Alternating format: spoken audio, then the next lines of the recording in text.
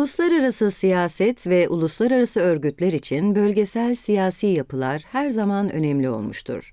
Ancak Soğuk Savaş sonrası dönemde bölgesel siyasi örgütler, onların işleyişini belirleyen tarihsel ve bölgesel siyasi gelişmeler çok daha önem kazanmıştır. Bölgesel örgütler, bölge politikasını anlamak için pek çok önemli ipucu sağlar. Ayrıca Soğuk Savaş sonrası dönemde bölgesel siyasi örgütlerin dönüşüm yönü, hızı ve bu bağlamda kazandığı yeni işlevler, bölgesel siyasi örgütler konu başlığı bağlamında incelenmeyi özellikle hak eder. Bu kapsamda program içerisinde üç konu üzerine durulacaktır. Bunlardan ilki, İkinci Dünya Savaşı biter bitmez Batı Avrupa'da savaş öncesinden miras kalan ve savaşın daha da derinleştirdiği pek çok meseleyi çözmek üzere Avrupa bütünleşmesi çabaları içinde özel bir yere sahip olan Avrupa Konseyi'dir. İkinci konu ise Avrupa Konseyi'nin insan hakları alanındaki faaliyetlerinin çok önemli bir parçası olan Avrupa İnsan Hakları Mahkemesi'dir. Avrupa İnsan Hakları Mahkemesi bölgesel ölçekte faaliyette olsa da uluslararası hukuk açısından çok özel bir örnektir.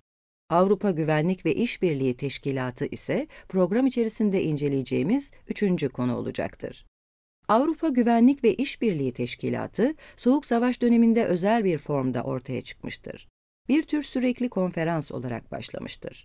Avrupa Güvenlik ve İşbirliği Konferansı, Soğuk Savaş sonrası dönemde yeni ve artan önem ve işlev kazanmıştır. Bu bağlamda sürekli bir örgütsel yapıyla Avrupa Güvenlik ve İşbirliği Teşkilatı'na dönüşmüştür. Örgütün güvenlik meselesine getirdiği yeni anlayış ve konferanstan teşkilata dönüşümü, Uluslararası Örgütler dersi için Avrupa Güvenlik ve İşbirliği Teşkilatı'nı farklı ve önemli kılar. Bu program, Soğuk Savaş, Avrupa İnsan Hakları Sözleşmesi, Avrupa İnsan Hakları Mahkemesi ve Helsinki Nihai Senedi anahtar kavramlarını ele alacaktır. Bu programı izledikten sonra Avrupa Konseyi'nin faaliyetleri nelerdir? Avrupa İnsan Hakları Mahkemesi'nin insan hakları hukuku alanındaki işlevi nedir? Avrupa Güvenlik ve İşbirliği Teşkilatı'nın bölgesel güvenlik konusuna katkıları nelerdir sorularına yanıt bulabileceksiniz.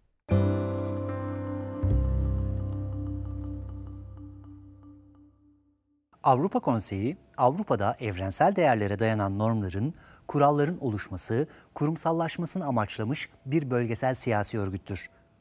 Avrupa Konseyi, üye devletlerin katılımı ve müzakereleriyle ortaya çıkarılacak sözleşmeler yoluyla bölgesinde evrensel değerlere dayanan bir Avrupa hukukunun egemen olmasını hedefler.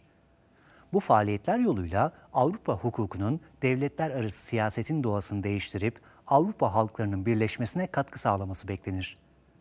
Avrupa Konseyi, İkinci Dünya Savaşı'nın hemen sonrasında Batı Avrupa merkezli olarak barış, kalkınma amacına yönelik bir kurumsal girişim olarak ortaya çıkmıştır. Bu girişimin hemen savaş sonrasında hazırlanması ve Batı Avrupa'nın önemli demokrasilerinin bir bölgesel siyasi, ekonomik örgütlenme içinde bütünleşme hareketinin parçası olmaya ikna edilmesi, öncelikle Fransa'nın Almanya'dan algıladığı güvenlik endişelerinin giderilmesine bağlı olmuştur. Bu konuda İngiltere oldukça önemli bir rol üstlenmiştir. Avrupa Konseyi 1948 tarihli Lahey Kongresi ve Brüksel Anlaşması'nın hazırladığı siyasi zemin üzerine kurulabilmiştir. 5 Mayıs 1949'da 10 devlet İngiltere, Fransa, İrlanda, İtalya, Belçika, Lüksemburg, Hollanda, Norveç, Danimarka ve İsveç kurucu statüyü imzalamıştır. Bu devletler parlamento temsilcilerinden oluşan bir meclis ve siyasi kararları almak üzere üye devlet dışişleri bakanlarından oluşan bir bakanlar komitesi esas olmak üzere kapsamlı bir bölgesel siyasi örgüt olarak Avrupa Konseyi'ni kurmuştur. Avrupa Konseyi, İnsan Hakları ve Temel Özgürlüklerin Korunması Avrupa Sözleşmesi'ni 1950 yılında kuruluşundan hemen birkaç ay sonra hazırlamış ve bu sözleşme 3 Eylül 1953'te yürürlüğe girmiştir. Bu sözleşmenin adı daha sonra Avrupa İnsan Hakları Sözleşmesi olarak değiştirilmiştir. Avrupa Konseyi İnsan Hakları Sözleşmesi'nin kabulü sonrasında bu alanda bir yargı organı kurmak ve yargısal faaliyeti düzenlemekle insan hakları alanında ikinci büyük adım atmıştır. Avrupa İnsan Hakları Sözleşmesi'nin 19. maddesi uyarınca 21 Ocak 1959 tarihinde Avrupa İnsan Hakları Mahkemesi oluşturulmuştur. Klasik uluslararası hukukta devletlerin uluslararası hukuktan kaynaklanan yükümlülüklerinden uzak durma eğilimleri ve özellikle de uluslararası yargı organlarının yetki alanından uzak durma yaklaşımları söz konusudur. Tüm bunlar düşünüldüğünde bu gelişme sadece insan hakları değil, uluslararası hukuk açısından da son derece önemli bir gelişme olmuştur. Avrupa İnsan Hakları Mahkemesi'nin yargısal yetkisi ve özellikle bireysel başvuru hakkı, üye devletleri insan hakları hukuku alanında evrensel ilkeler esasında gerek yasal düzenlemeler yapmaya gerekse uygulamalarını mahkeme içtihatıyla uyumlu hale getirme konusunda çok önemli bir rol oynamıştır. İkinci Dünya Savaşı sonrasında Avrupa'da insan hakları esasında evrensel standartların hakim olduğu bir politik düzenin kurulmasında bu rol büyük önem taşır. Soğuk Savaş biterken tüm Avrupa'nın yine evrensel ilkeler esasında bütünleşmesi ve geçiş döneminin görece büyük çalkantılara yol açmadan başarılması yine bu rol sayesindedir. Avrupa Güvenlik ve İşbirliği Teşkilatı 1970'li yıllarda Avrupa'da yaşanan yumuşama döneminde Doğu bloku ile Batı bloku arasında diyaloğu arttırmak için çok taraflı bir platform oluşturma düşüncesiyle doğmuştur. 1 Haziran 1975 tarihinde imzalanan Helsinki Nihai Senedi, katılımcı devletlerin birbirleriyle ilişkilerindeki 10 temel ilkeyi saptamıştır. Bu 10 ilke Avrupa Güvenlik ve İşbirliği Teşkilatı'nın ve Avrasya Güvenlik Rejimi'nin normatif esaslarını belirlemiştir. Avrupa Güvenlik ve İşbirliği Teşkilatı güvenliğin üç boyutunda yani siyasi, askeri, iktisadi ve çevresel, insani, ilke, norm ve standartlar geliştirir, yükümlülüklerin uygulanma durumlarını izler, esnek müzakere ve siyasi diyalog forumu teşkil eder. Ayrıca katılımcı devletlerin demokratikleşme, hukukun üstünlüğü ve insan haklarına saygı alanlarındaki çabalarına destek ve yardım işlevi görür. Soğuk Savaş sonrası dönemde uyuşmazlıkların çözümü, hukukun üstünlüğü, ulusal azınlıkların korunması, medya özgürlüğü ve demokratik kurumların güçlendirilmesi konularına odaklanılmıştır. Avrupa Güvenlik ve İşbirliği Teşkilatı kabiliyetleri sınırlı bir örgüttür. Teşkilat kurucu bir anlaşmaya dayanmaz. Karar almak için oydaşma aranır. Alınan kararların ise katılımcı devletler üzerinde yasal bir bağlayıcılığı bulunmaz. Avrupa Güvenlik ve İşbirliği Teşkilatı kendisine ait bütçesinin yetersiz olması nedeniyle faaliyetlerinde katılımcı devletlerin mali katkısına muhtaç kalır. Teşkilat, güvenlik anlayışı ve çatışmaların önlenmesinden çatışma sonrası inşaya uzanan kapsamlı yaklaşımıyla diğer bölgesel güvenlik örgütlerinden farklılaşır. Avrupa Güvenlik ve İşbirliği Teşkilatı, insani, siyasi askeri, iktisadi ve çevresel boyutları, ayrıca hukukun üstünlüğü ve yolsuzlukla mücadele alanlarını içerecek şekilde kapsamlı bir güvenlik anlayışına öncülük eder. Bu güvenlik anlayışı güvenliğin bölünmez olduğu anlayışı ile tamamlanır.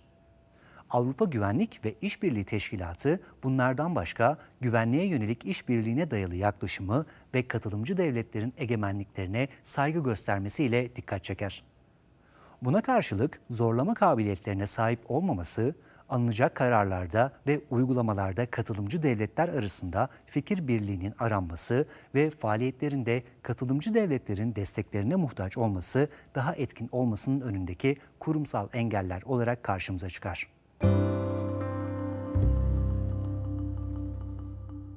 Avrupa Konseyi, Avrupa'da evrensel değerlere dayanan normların, kuralların oluşmasını, kurumsallaşmasını amaçlamış bir bölgesel siyasi örgüttür. Avrupa Konseyi, üye devletlerin katılımı ve müzakereleriyle ortaya çıkarılacak sözleşmeler yoluyla bölgesinde evrensel değerlere dayanan bir Avrupa hukukunun egemen olmasını hedefler. Bu faaliyetler yoluyla Avrupa hukukunun devletler arası siyasetin doğasını değiştirip Avrupa halklarının birleşmesine katkı sağlaması beklenir. Avrupa Konseyi İnsan Hakları ve Temel Özgürlüklerin Korunması Avrupa Sözleşmesi'ni 1950 yılında kuruluşundan hemen birkaç ay sonra hazırlamış ve bu sözleşme 3 Eylül 1953'te yürürlüğe girmiştir. Avrupa Konseyi, İnsan Hakları Sözleşmesi'nin kabulü sonrasında bu alanda bir yargı organı kurmak ve yargısal faaliyeti düzenlemekle insan hakları alanında ikinci büyük adımı atmıştır. Avrupa İnsan Hakları Sözleşmesi'nin 19. maddesi uyarınca 21 Ocak 1959 tarihinde Avrupa İnsan Hakları Mahkemesi oluşturulmuştur. Avrupa Güvenlik ve İşbirliği Teşkilatı, 1970'li yıllarda Avrupa'da yaşanan yumuşama döneminde Doğu bloğu ve Batı bloğu arasında diyaloğu arttırmak için çok taraflı bir platform oluşturma düşüncesiyle doğmuştur. Soğuk Savaş sonrası dönemde uyuşmazlıkların çözümü, hukukun üstünlüğü, ulusal azınlıkların korunması, medya özgürlüğü ve demokratik kurumların güçlendirilmesi konularına odaklanmıştır. Avrupa Güvenlik ve İşbirliği Teşkilatı, kabiliyetleri sınırlı bir örgüttür. Teşkilat, kurucu bir anlaşmaya dayanmaz. Karar almak için oydaşma aranır. Alınan kararlarınsa katılımcı devletler üzerinde yasal bir bağlayıcılığı bulunmaz. Bu programda Avrupa Konseyi'nin faaliyetleri nelerdir? Avrupa İnsan Hakları Mahkemesi'nin insan hakları hukuku alanındaki işlevi nedir? Avrupa Güvenlik ve İşbirliği Teşkilatı'nın bölgesel güvenlik konusuna katkıları nelerdir sorularına değinildi. Konuyla ilgili daha ayrıntılı bilgi, Uluslararası Örgütler ders kitabının dördüncü ünitesinde yer almaktadır.